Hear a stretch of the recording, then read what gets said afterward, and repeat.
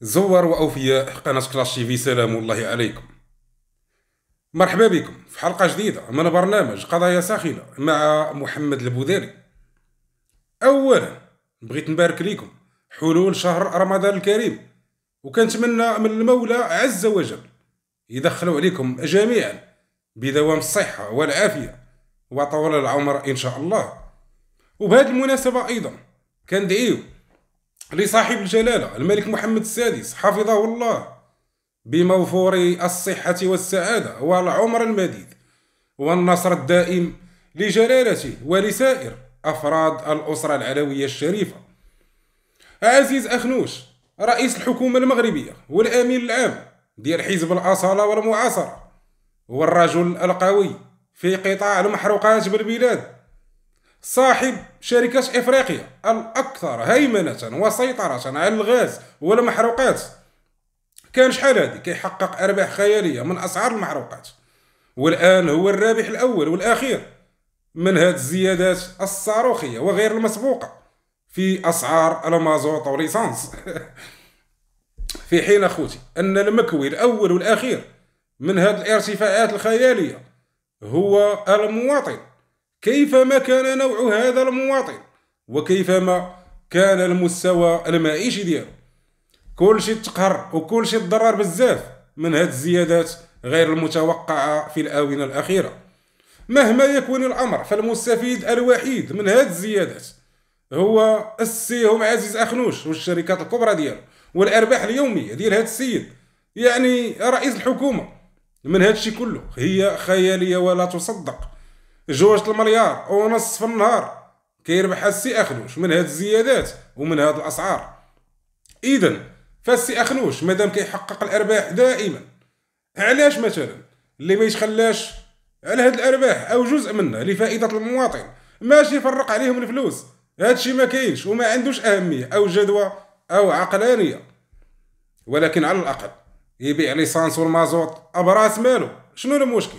يتضامن مع المغاربة في هذه الأيام الصعبة ويقنع غير بهذاك الخير اللي عنده واللي راكم من سنوات هذه على الأقل باش يهبط ثمن المحروقات شوية وما تأثرش بزاف القدرة والشرائية القدره الشرائية للمواطن والجيب ديالو وما تخليش أسعار المحروقات المواد الغذائية الأساسية اطلع بزاف خصوصا في هذا الشهر الفضيل هاد الأرقام الخيالية أنا بنفسي والله العلي العظيم ما كنت عارفها ولا كنت عارف شحال كيدخل هاد خونا. لسبب بسيط وهو ماشي سوقي الله يسهل عليه والله يزيدو. اللي يحزك السي اخنوش تعمري عينيه. والله إلا من قلبي كنقولها ولكن فين هو نصيب الدراوش من هذا الخير كله؟ وعلاش؟ مثلا ما شفناش منك لحد الساعة أي حاجة أو موقف كتعبر فيه على التضامن ديالك مع المغاربة في هذه الظروف العصيبة اللي كتعرف زيادات صاروخية وخاصة مع شهر رمضان. بصيفتك السي أخنوش. رجل اعمال كبير في البلاد. وماشي بصيفتك كرئيس حكومة. والله يهديك السي أخنوش. والله يهديك على هاد الشعب. كيف قلت لكم أخوتي المغاربة؟ ما كنتش عارف هاد الشيء وهاد الأرقام. حتى طالعت على مضمون تقرير للجنة برلمانيه حول المحروقات بالمغرب هاد التقرير كيقول بأن المغاربة كيستهلكوا يوميا ما يقارب 40 مليون لتر من البنزين والمازوت.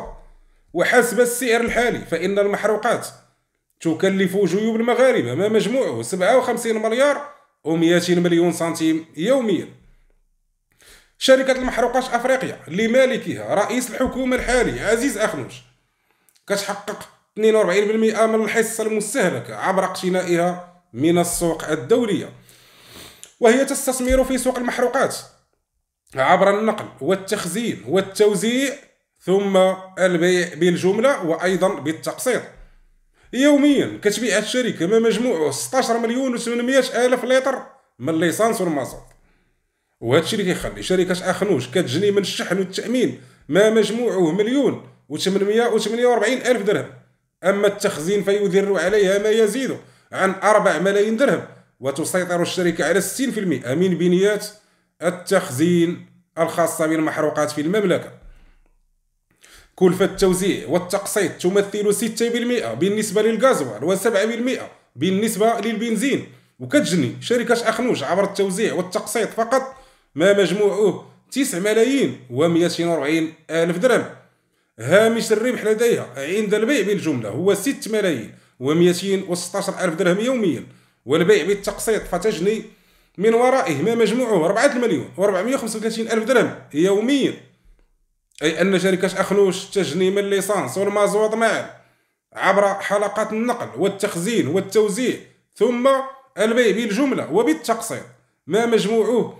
24 مليون و891 ألف درهم يوميا.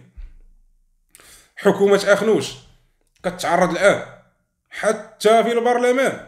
لانتقادات شديدة بسبب تهربها من نقاش مشكل التهاب أسعار المواد الأساسية وعلى رأسها المحروقات بطبيعة الحال.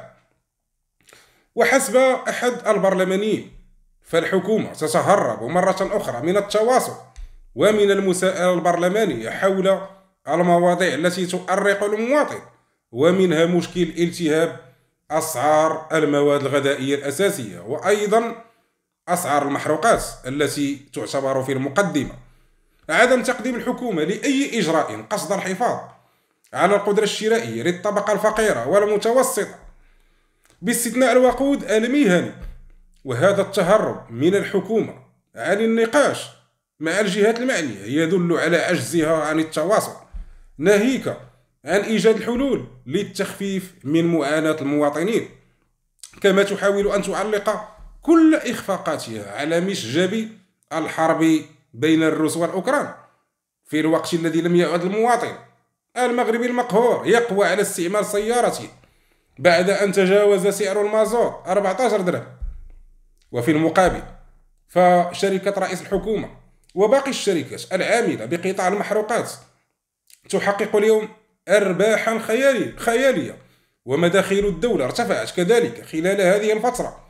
بفعل ارتفاع معدل الضريبة على الاستهلاك والضريبة على القيمة المضافة على الوقود والتي يؤديها المواطن من جيبه. وقد سجل المغرب خلال اليومين الأخيرين ارتفاعا كبيرا في أسعار المحروقات. الأمر الذي مس بشكل مباشر بالقدرة الشرائية للمغاربة ويرجح متتبعون بأن تستمر الأسعار في الارتفاع في ظل غياب أي إجراءات فعلية للحد منها. والاكتفاء بإرجاع أسباب ذلك إلى المشاكل الخارجية. كان معكم محمد البوداري في حلقة جديدة من برنامج قضايا ساخنة. أرجو وكما جرت العادة أن تدعموا هذا المحتوى بالتفاعل اللازم مع الفيديو عن طريق ال like ال partage والتعليق حتى هو باش تعم الفائدة والحاضر يعلم خوه الغايب. دمتم في رعاية الله وحفظه. وإلى موضوع آخر بإذن المولى عز وجل.